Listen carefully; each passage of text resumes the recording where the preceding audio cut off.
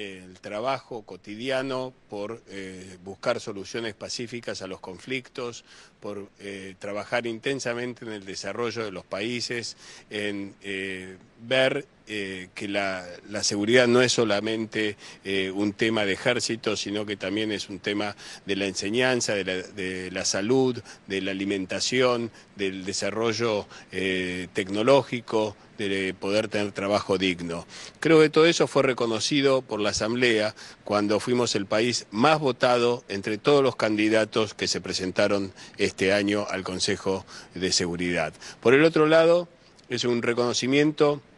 a una América Latina y Caribe que está más unida que nunca y que al elegir a la Argentina como su candidato le dio una, una señal al mundo que eh, en temas de las Naciones Unidas, así como en muchos otros temas, América Latina y el Caribe está unido y que esa unión es reconocida por el resto del mundo.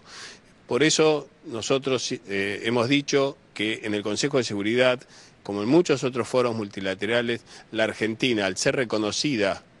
para ser eh, miembro de, un organismo será la voz de América Latina y el Caribe. Queremos representar a todos y a cada uno de los países de la región y los queremos representar en los valores más importantes que tiene eh, nuestro continente, que es el desarrollo en paz, el de una una región que le dice no a las armas nucleares, que le dice no al colonialismo, que le dice sí al trabajo digno, sí al desarrollo, sí a la educación y sí al, al derecho a una alimentación.